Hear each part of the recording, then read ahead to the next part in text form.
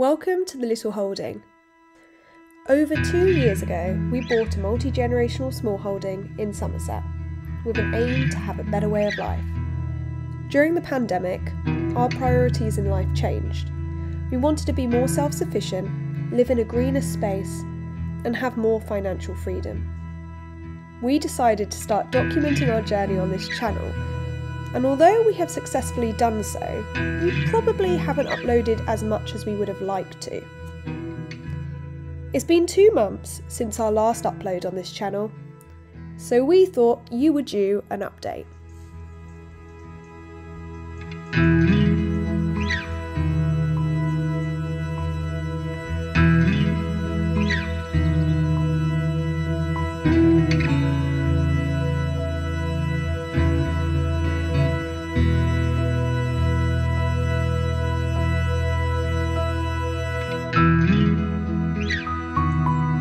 I mean, where do I even start? The vegetable garden is still full of life, but I mean, not that much life. It's definitely coming to the end of everything. We've still got a few cucamelons, we've still got a few pumpkins, we've got a few beans, some sweet potatoes that still need to be picked, um, Jerusalem artichokes, things like that, tubers. Other than that, it's a bit sad. Oh, we also have some Inca berries, which are really tasty. Can't quite believe that Inca berries, such like a tropical tasting fruit, can grow in the UK in this kind of climate, but yeah, they're, they're really tasty. Anyway, as usual, I went on a bit of a tangent. Where do I start? We've been away for quite a long time. I think we'll start with Ryan creating a food truck, which to some of you may be a little bit out of the blue. I'm just gonna get him to talk about it. Welcome to my uh, food van. Hey. I know it doesn't look like much at the moment, but uh, it's, a, it's a work in progress. I'm currently in the process of ripping everything out of it. Um, it wasn't in the best state when I bought it. I thought it was in a bit of a better state. I'm just stepping through the food van. A little bit of a mess at the moment, but we're getting there. My dad rewelded this back on. Um, showed me how to weld, so I'm uh, currently at stage of being a very bad welder. Um, ho hobbyist, I think they call them. So I did this bit with my, my dad's supervision, and then I have just done this bit all on my own. Uh, needs a little bit of tidying up, but yeah, structurally sound. Um, floor still needs to go in, sides need to come off. New sides need to go on. And then yeah I need to work out insulation flooring worktops. A lot to be done. But yeah good project. Uh, and then I'll be able to cook send food out of here.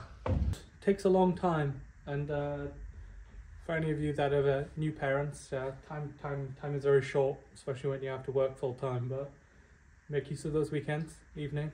Um, a lot of new skills to learn. But yeah, it's going to be good. the sun. As you can see, the polytunnel is starting to become bare again. We've taken the majority of our tomato plants down. It stresses me out a little bit thinking that I probably didn't film that much content on this YouTube channel of the polytunnel full. Um, that annoys me a little bit. So next year I need to make sure that I do more of that. Just going to move that so that, oh gosh, the sun. Maybe there's nowhere. Maybe just this way. the next massive thing I have to talk to you about is the fact that we're on TV, which seems absolutely crazy. Very, very exciting. Essentially, I just got an email. Uh, I know, I got a message on Instagram asking if we'd like to be on Escape to the Country. And I said yes. and now we're on Escape to the Country on TV, on BBC iPlayer. I'll put the link in the description. It definitely shows the power of social media.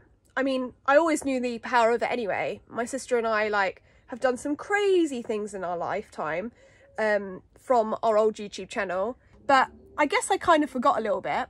The string's still here from the tomato plants. Uh, living my country life, I kind of forgot. And um, yeah, I mean, we watched that show, Escape to the Country, so much when we were looking for a home to move to.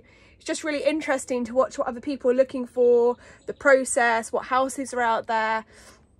And so to be asked to be on it as one of their, like, in quotation, success stories, I guess, because basically they do a new segment at the end of each episode where they show a family that have moved to the countryside and we were that family and we we talked on there. Well, actually, I'm not going to tell you what we talked about on there, but you can watch it. Anyway, I guess it just kind of showed the power of social media and I kind of gave up a little bit.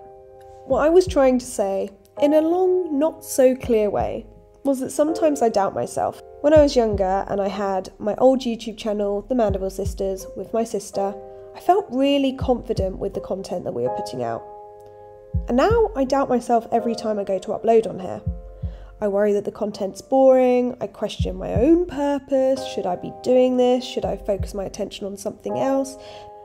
I think it's probably happened since having Arthur, and to be honest, it's probably just linked to my own lack of confidence and nothing to do with this channel. So, when we were asked to be on Escape to the Country, because of the content that we put out here online, along with the most fun I've had in a long time when filming this TV show, it made me realise that I really want to continue putting content out on here. I want to feel more confident doing so, and I think it's definitely going to be a New Year's resolution of mine. Sorry, the kitchen, I mean, it's not too messy, but it's just not looking as like picturesque as I would like it. Uh, I've just changed my outfit because I was just filming a TikTok.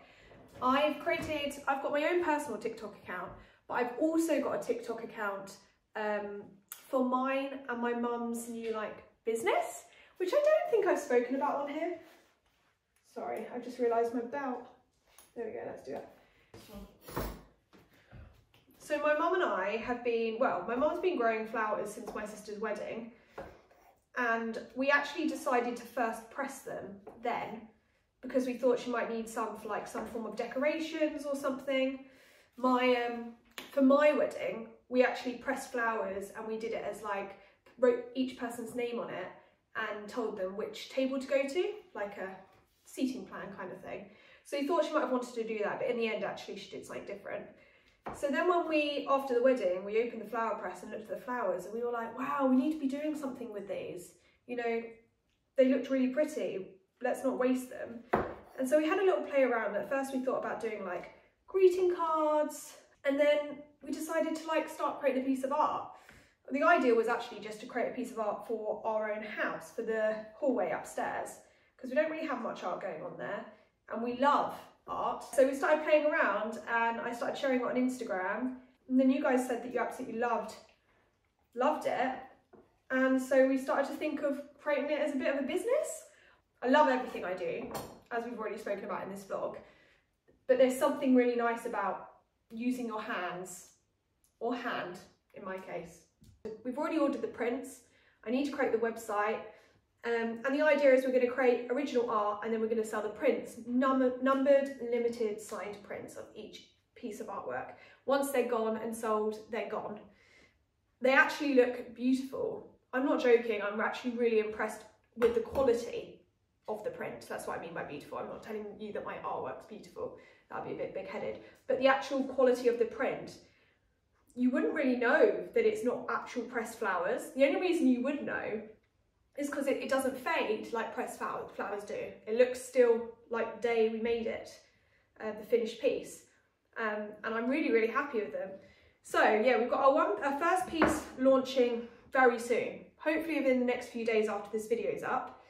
If you want to know more about it, I've got a TikTok account, um, which I'll put in the description below, specifically on um, the flower pressing stuff. I also have my own personal TikTok.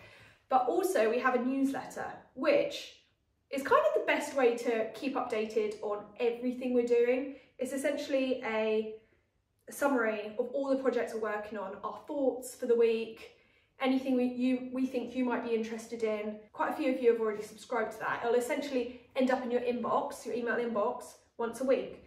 Um, and it won't involve too much reading. It'll have, like last week's had like a link to a recipe we like the look of, a link to the book we liked. We are talking about being on TV.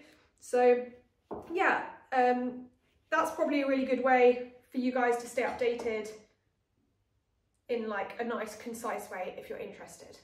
Anyway, I should probably get on with uh, cutting these because Arthur's having a nap and he won't stay asleep for long. I'm basically making crispy, crispy mushrooms um, to put on an omelette and then like put loads like chili oil and stuff, kind of like a bit uh, with some soy sauce. Mm. I never used light mushrooms until I had Ryan's and he makes them go crispy and they're so tasty. Uh, the key to it is basically to put a load of butter in with them. So it's quite a healthy dish that then turns very unhealthy very quickly. And that doesn't look very pretty, but is my go-to snack. So there we go. I hope you enjoyed this video. Where have we been? We've been all over the place. um, if you enjoyed this video, please make sure that you interact with it. It means a lot. Like, there's no other way to grow on YouTube these days than that, or having a lot of watch time, which means like watching the video all the way through. Um, it's hard because they don't really promote videos that haven't aren't monetized and our videos aren't monetized. So yeah, I'd really appreciate that. If you're interested in our newsletter or TikTok or anything, then click the link in the description. And um, yeah, we'll see you soon.